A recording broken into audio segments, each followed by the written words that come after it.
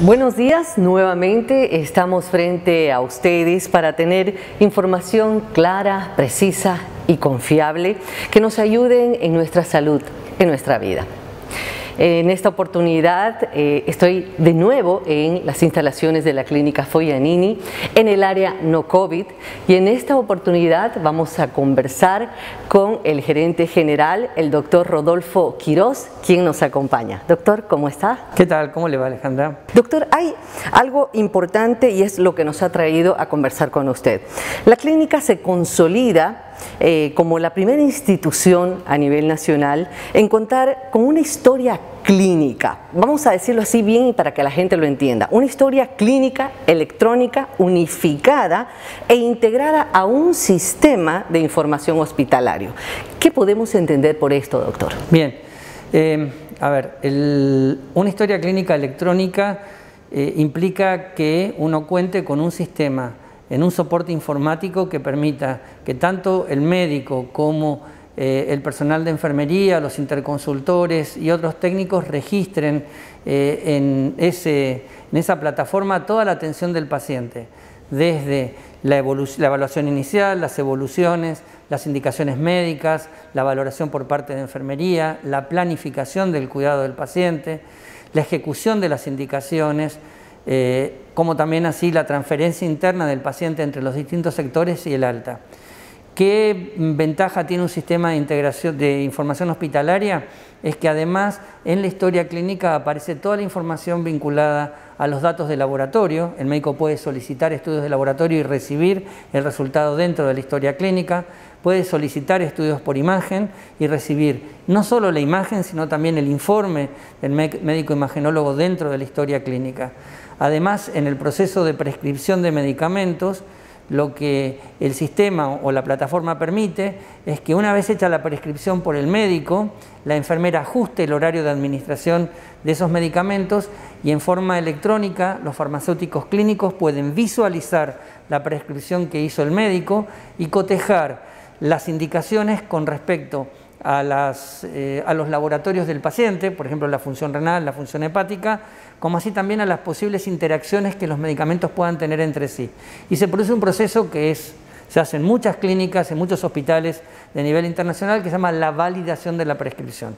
Esto significa que el médico puede eh, no tomar en cuenta la interacción de un medicamento que estás prescribiendo con otro que el paciente viene tomando y lo que hace el farmacéutico es, en ese caso, valida y puede generar una confirmación de la prescripción, una modificación de la prescripción o inclusive un rechazo informando al médico de alguna contingencia que no fue prevista para no administrar una droga que puede ser dañina al paciente.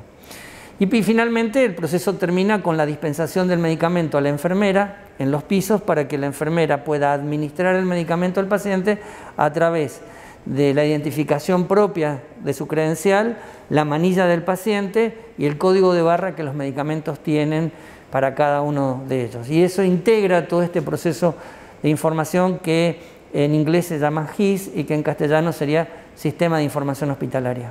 Entonces nos olvidamos, doctor, todos quienes hemos pasado alguna vez por los hospitales, por la clínica, en este caso aquí en la Foyanini, de los papeles, de estar escribiendo, de estar interpretando, entendiendo qué dijo, qué no dijo, sino más bien ahora entramos al tema de la tecnología de punta y tener información dentro de un programa. Seguro. Eh, en realidad, eh, como parte del proceso de acreditación, uno tiene que ir moviéndose desde el papel, que es inseguro, hacia una plataforma electrónica como esta que estamos comentando. Y como la clínica ya venía en este proceso de mantener su acreditación, el compromiso era integrar toda la información asistencial en una plataforma única. Este proceso es muy antiguo, no empezó ahora, lleva casi seis años de evolución Empezó primero con la identificación unívoca de las personas, porque de hecho antes eh, no contábamos con un sistema que fuera infalible para identificar personas distintas, entonces había duplicidad de datos. Después se desarrolló un sistema de triaje en el área de emergencias que permitía categorizar o priorizar la severidad de los pacientes, después la agenda de turnos, la historia clínica de consultorios, la integración de la información de laboratorio, imagenología y finalmente Después se hizo la historia clínica de emergencias, que esto fue un, gran, una gran ventaja para la clínica, porque esto lo implementamos antes del COVID y eso permitió agilizar muchísimo la atención de los pacientes en el área de emergencias con la pandemia y a partir del 1 de septiembre se cierra todo este proceso con la historia clínica de internación. Qué interesante, entonces es un proceso que va hace años, no es que de la noche a la mañana se ocurrió y hacer esto, sino que tiene que llevar un proceso. Esta historia clínica electrónica unificada, doctor, es aplicada a los pacientes que llegan a tener una consulta en físico, como, como también para las personas que lo hacen virtualmente? Sí, de hecho, bueno, hasta eh, mediados de la pandemia la clínica no tenía consultorios virtuales, pero como ha pasado en el mundo, uno ha tenido que adecuarse a la nueva realidad y eh, la clínica desarrolló lo que se llama médico en línea.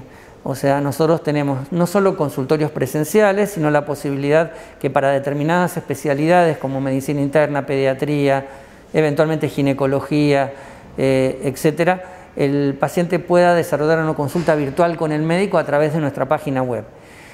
Si imagínense, si nosotros no tuviéramos la historia clínica de consultorio, sería imposible registrar la información de esa atención en alguna plataforma.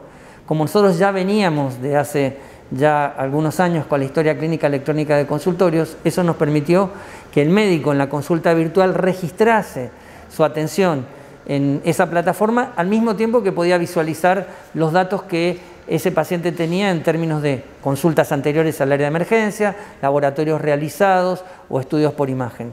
Y esto fue muy importante para hacer el seguimiento de los pacientes COVID en el domicilio, porque ya era mucho más fácil disponer de la información y ver cómo evolucionaba el paciente.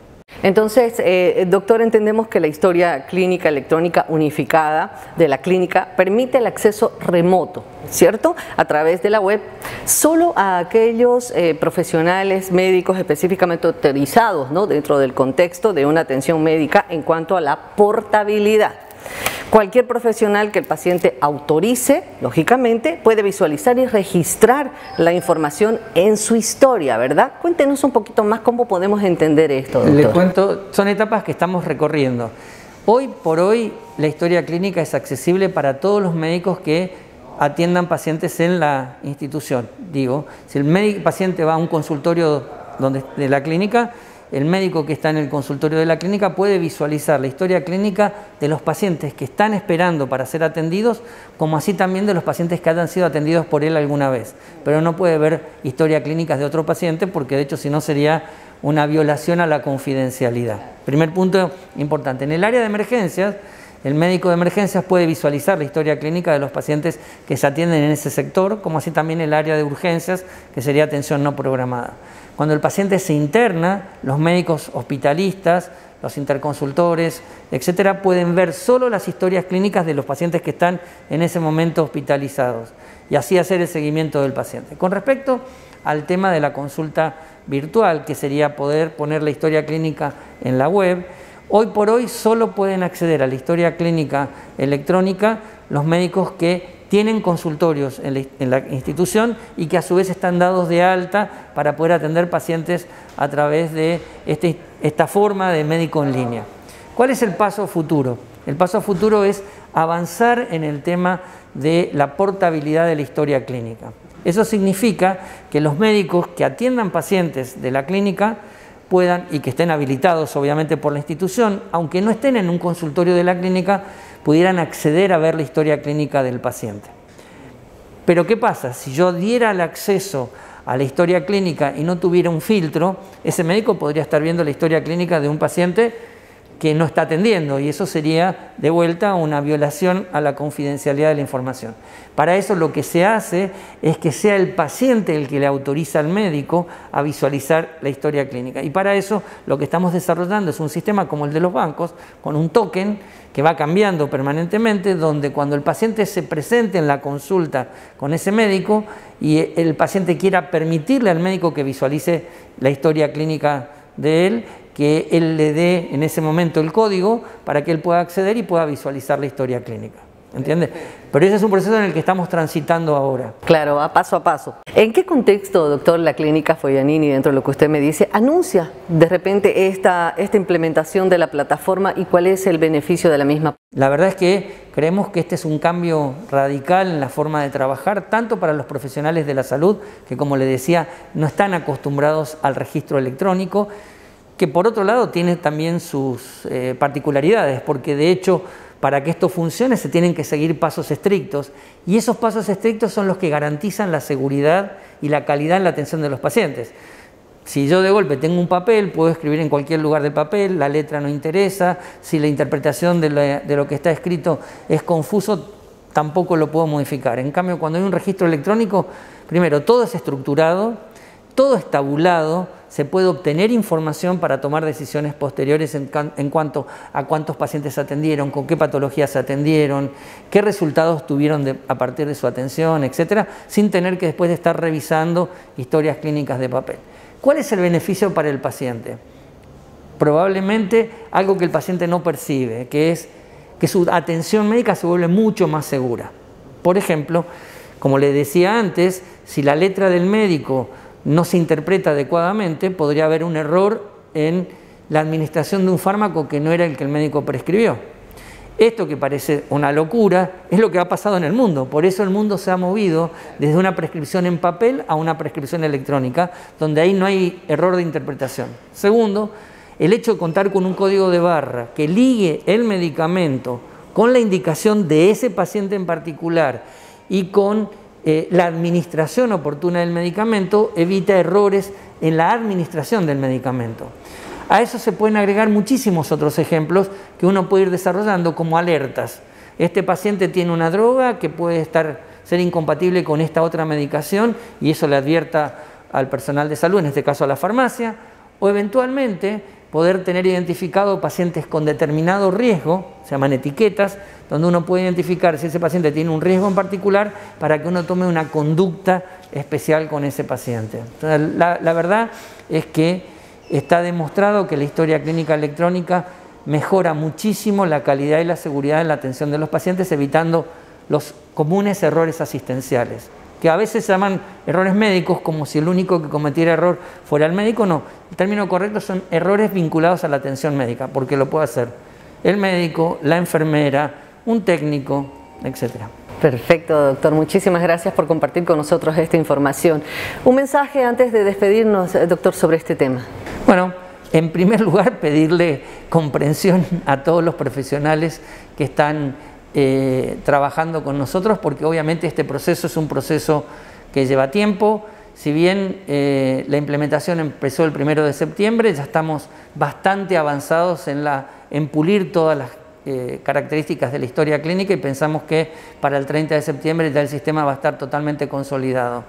A los pacientes pedirles un reconocimiento en el esfuerzo que está haciendo la clínica para aportar mayor calidad y seguridad en la atención y que este esfuerzo que la clínica hace en mejorar su calidad asistencial, eh, bueno, esperemos que sea reconocido por parte de nuestros usuarios habituales. Así que bueno, eso básicamente. Gracias de nuevo, doctor, por compartir esta información tan importante con todos, porque esto es en beneficio de la mejora continua de la clínica Foyanini y además lo que es importante y reafirma además, doctor, lo que es el compromiso que se tiene con la salud, con el bienestar, con la vida de las familias bolivianas. Va a ser hasta cualquier momento, eh, estaremos informando siempre lo más importante, la salud y la vida. Música